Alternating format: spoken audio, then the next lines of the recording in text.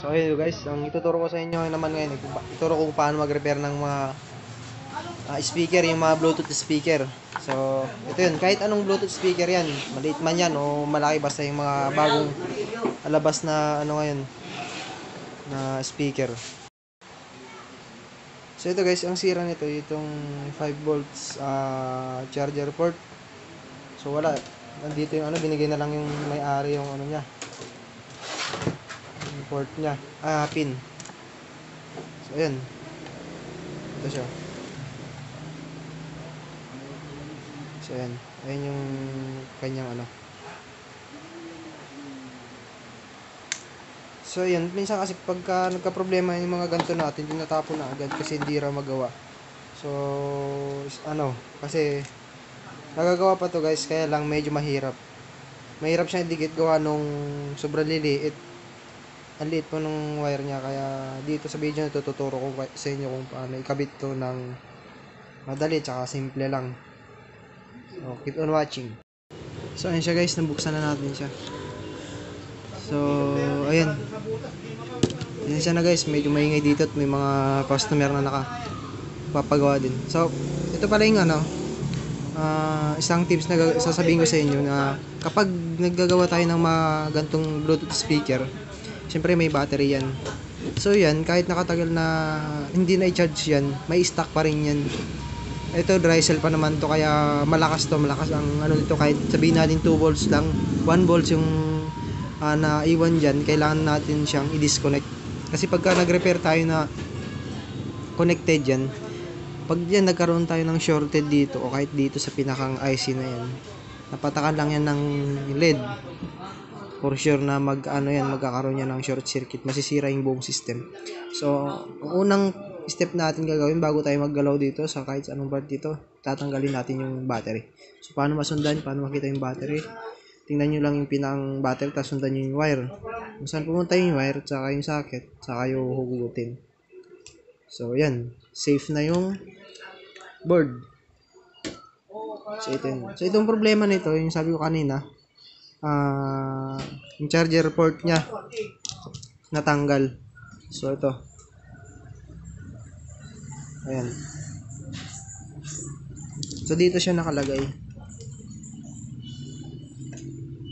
So dito ayan ah. So ayan nakikita niyo yung ganyan. So kung makapansin niya sobrang liit niya.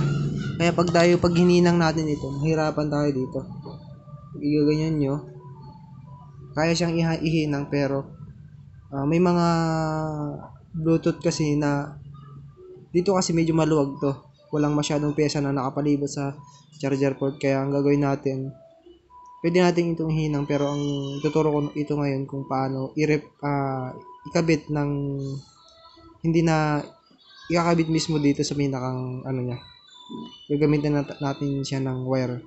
Kasi maliliit maliliit ngayong ano baka magkakaroon pa ng short circuit so unang gagawin natin dito so next guys ay kukuha tayo ng bagong ano port so kukuha tayo So, okay pa naman yung dati, yung nakakabit sa kanya dati, yung natanggal lang, pwede mo siyang ibalik. Kaya lang yung nakalagay sa dito kasi, nasira na. Nadurog na yung pinakang loob niya. Baka, huwag nyo na siyang ikabit guys pagka may problema yung loob kasi maninira niya ng charger. So, kaya bag, bago yung kinuha natin. So, ito saan makakabili ito? Ito marami to sa ano sa online, sa Lazada ko nabili to. Kaya ito bago siya kung napansin nyo. Yung makinis pa. Ayan. So dito, mayroon siyang apat na ah, ah, lima pala. 1, 2, 3, 4, 5. Limang pin. So, ang kailangan lang dito sa mga sa Bluetooth speaker niyan, yung dalawang gilid lang ito, ito, tsaka ito. So, yung dalawa, yung tatlo dyan, hindi na siya kailangan. So, ito, note lang guys, ah, ito yung mga sa ano lang, sa, itong gagawin natin nito para sa mga Bluetooth speaker lang na may gantong charger, ah, charger port. Wag na, wag nyo gagawin, gagawin ito sa mga cellphone kasi kailangan na yung, pag sa cellphone, kailangan kompleto yan kasi sa data yung iba dyan. supply, positive negative, tapos data. Tapos dito naman sa Bluetooth, ito lang kailangan natin yan, yung dalawang ano, positive tsaka negative. So, paano natin sa malalaman? Kaya gag- gagamit tayo ng charger. Ah, saksak natin yung, ano, saksakan natin siya ng charger para malaman natin kung saan positive. So, ayan. Gamit tayo ng multimeter.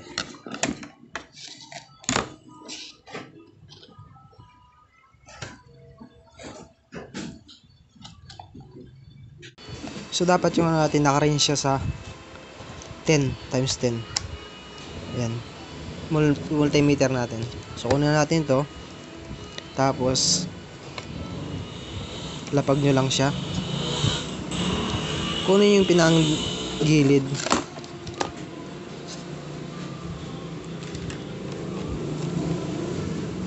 So, ayan. Tingnan nyo yung tester guys kung papalo siya. Hindi. So, yung baliktad. Pag ganun, i-reverse lang natin siya kasi negative ay napunta sa positive yun. So, ayan. Ayan. Ayan yung positive. So, ito yung pula. Ito yung positive natin. Ito yung negative.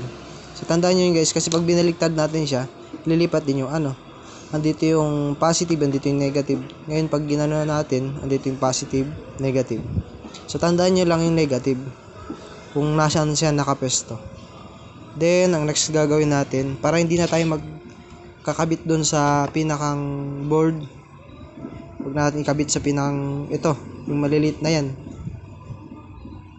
Para wire, isang wire lang gagamitin natin. Ang gagawin nyo dyan guys, eh, bebend nyo lang si negative. So, nasan yung negative kanina? Dito. So, ayan. Ito lang negative kanina. Kaya ito ibebend nyo. Iko-connect nyo lang siya sa ground. Ito pala guys, ground ito. Itong pinakang bakal, bakal na to. Ground yan. Ibig sabihin, negative yan. Kaya yung negative, iko-connect natin dito. So, ayan. Then, ihinang natin.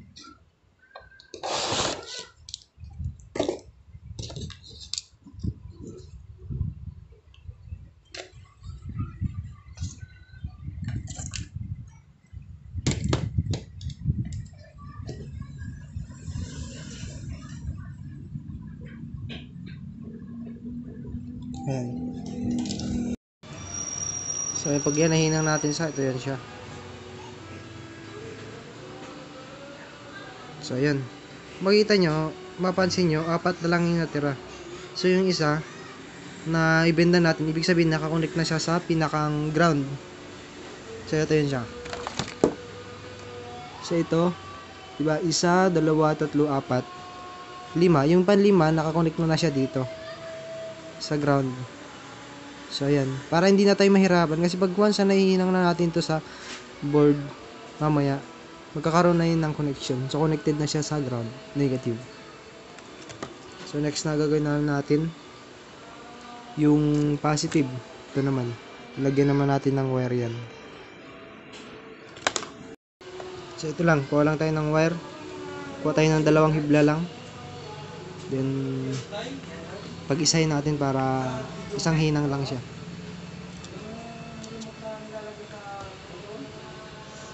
So, bago, bago natin yung kabit, kailangan natin lagyan ng lid para kakapit din siya.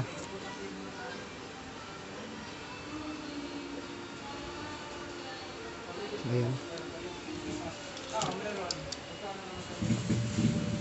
So, dito natin naman siya ikabit.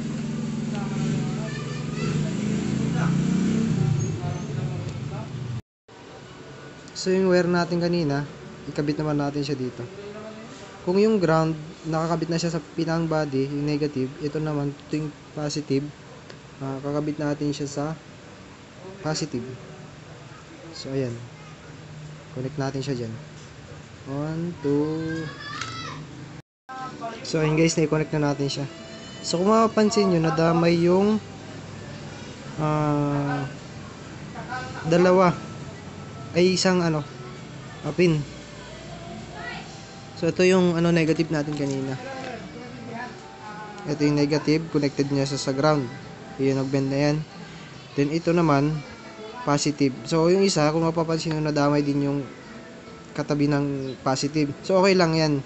Pag sa mga Bluetooth na speaker. Pero sa cellphone, guys, wag na wag nyo gagawin to kasi sabi ko kanina, may gamit yung tatlo sa cellphone. Sa Bluetooth kasi, ang gagamitin lang dyan, yung supply lang. So, dalawang gilid lang. Yung, pang, yung unang pin, tsaka yung panglima. Yun lang yung kailangan. So, kahit mag-short yan, magkakaroon ng masasama yung isa o yung tatlo, huwag lang silang magkaroon ng short circuit dito sa negative. So, ayan. So, naman, ihihinang naman natin siya sa pinakang board na. So, ayan siya. So, ayan. Para mahinang natin siya, kung mapapansin nyo dito, ito yung ground, ito yung negative, so ito yung positive. Mapapansin nyo, ito pumunta sa pinakang IC. Kita? Ito to. Yan. So, bago natin siya ikabit, kailangan natin kuskusin yan. Tanggalin natin yung pinakang cover ng pinakang top. So, be careful lang kasi, ano to, baka may madamay. Kailangan kung nasan yung positive, yun lang yung tatanggalan natin ng kaunting ah, cover para mag, doon tayo maghihinang. So, ayun, nasugatan yung negative. Pero okay lang yan, basta sa paghihinang, kailangang maingat, saka maganda yung hinang. So, ayun. Ano siya. Tapos, lagyan na natin siya ng lid.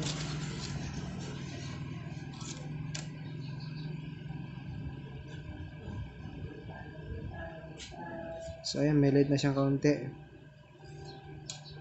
Dito naman, yung step na gagawin natin dito, connect, ilalagay na natin to.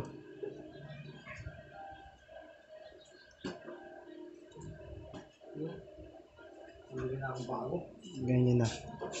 Bago natin ikabit siya, kailangan din malinis yung pinakang base nito kasi baka mamaya ito may shorted. Kahit may kabit na natin yung port, hindi pa rin siya gagana so, kaya kailangan tanggalin natin yung mga linisin natin yung pinang pwesto niya. So ayan. Ang next dito, ikakabit na natin siya. So, dahan-dahan lang kasi medyo malambot tong wire. Kailangan hindi na siya masyadong nagagalaw. So, ayan. Hinang lang natin siya.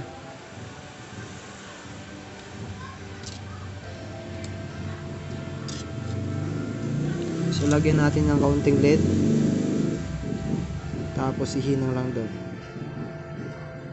So, ayan. Connected na yung pinakang base. So, bago natin ihinang yung pinakang wire, kailangan natin i-align. Tingnan natin siya kung pantay. Kasi mamaya yan, pag balik na natin sa ano, pinakang pwesto niya, sa pinakang box niya, minsan di yan pumapasok, hindi yan sa uma-align. Kaya kailangan ma-align yan.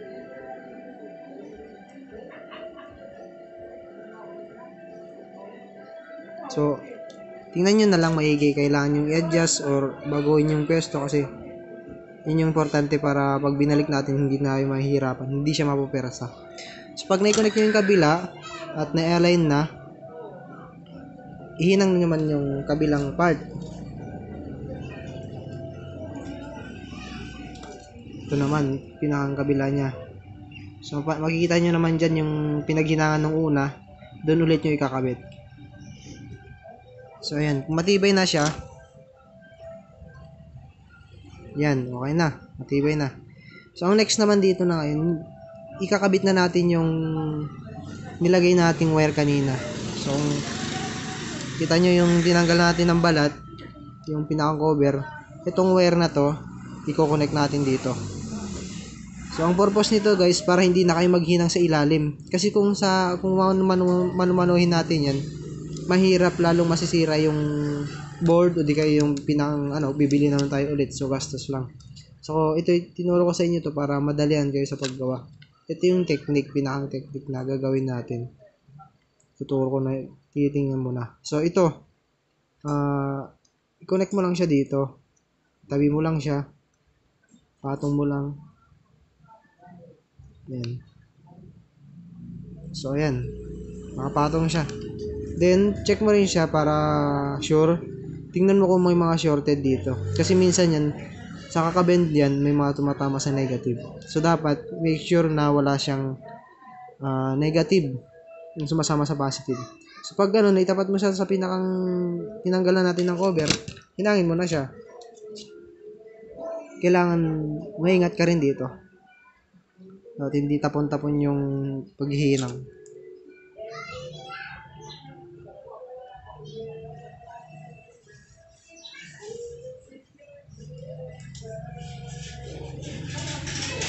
So, ayan. Makakita nyo, nahihinang na siya.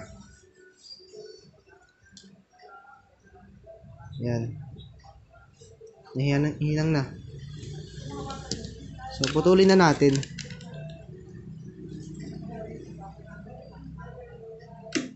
Ilagay natin konti dito.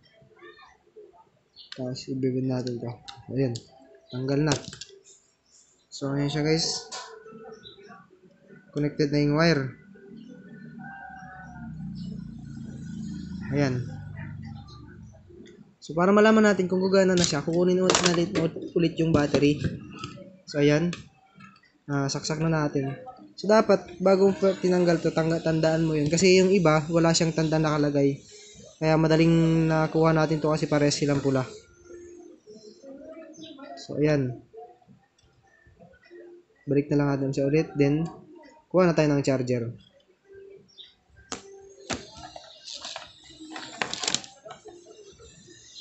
So, try. So, ayun. Umilang na siya. May na siya gumana na siya. Ibig sabihin, nag-charge na. So, try nating i-open para malaman natin kung pati yung pinang system niya buo. So, ayun, gumana.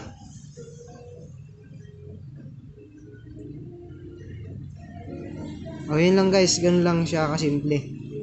Sundan mo na lang, panoorin mo ulit kung hindi mo siya nakita, na, na sundan na maigi.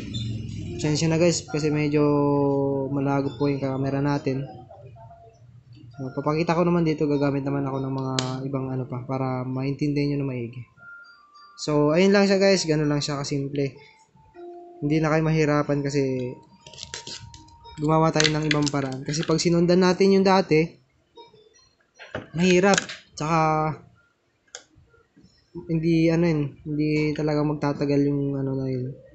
Masisira at masisira rin. So, ayun. Ganun lang siya kasimple guys. So, I hope na may natutunan ulit kayo.